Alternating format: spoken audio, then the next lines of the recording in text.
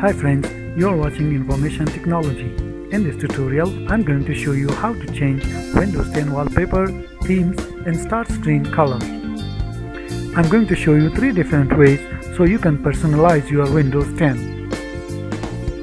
If you are using a tablet or touch screen, you should go and touch the settings and that opens up the settings window. Then you go ahead and touch personalization. Let me close this window. Another way is to go to the taskbar and open up the action center.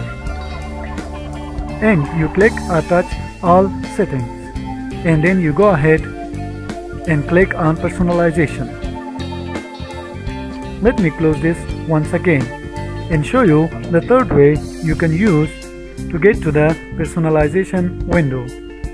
If you are on a laptop or desktop, you can right click on the desktop and click on personalize and that will open up the personalization screen for you. By default, the background is selected. I can change this to color or picture and these are the default pictures that comes with Windows 10. Or I can browse for one from the local hard disk.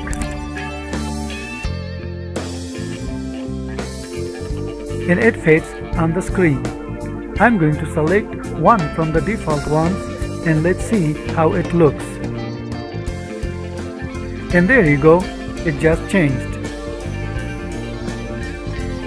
Now I can go here and click on colors. This allows me to change the colors of the start screen within Windows 10. Here you can see the preview. By default it's blue. If I click on the start menu, it's blue.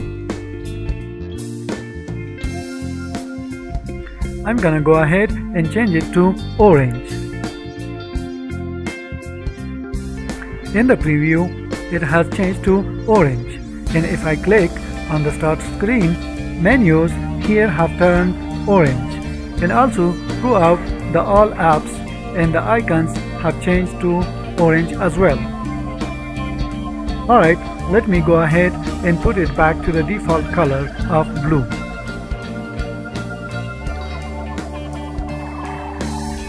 And as you can see, it has immediately changed in the preview back to the default color. Now over here on the lock screen, before you are prompted for a password, you can change the default lock screen to anything you like. And also make it a slideshow if you want. And of course, you can browse for one locally on your computer. Now over here on themes, let's go ahead and click on themes. These are the default themes that come with Windows 10. Over here on the right side, you can see the high contrast themes as well and you can set the settings according to your liking. If you want some other themes, you can click here on this link that takes you to the Microsoft website and there are free themes that will work with Windows 10.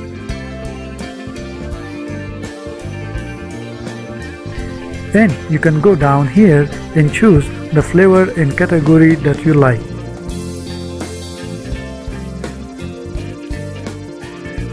I'm going to click on one and that brings up the themes that I can download and install on my Windows 10.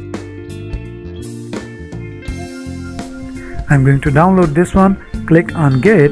Now we have to wait for the download to complete. Now that the theme is available and I can click on it and go ahead close this out and the theme should be available on my desktop and it is. Alright, that's the end of the tutorial. Subscribe and like my video. See you again.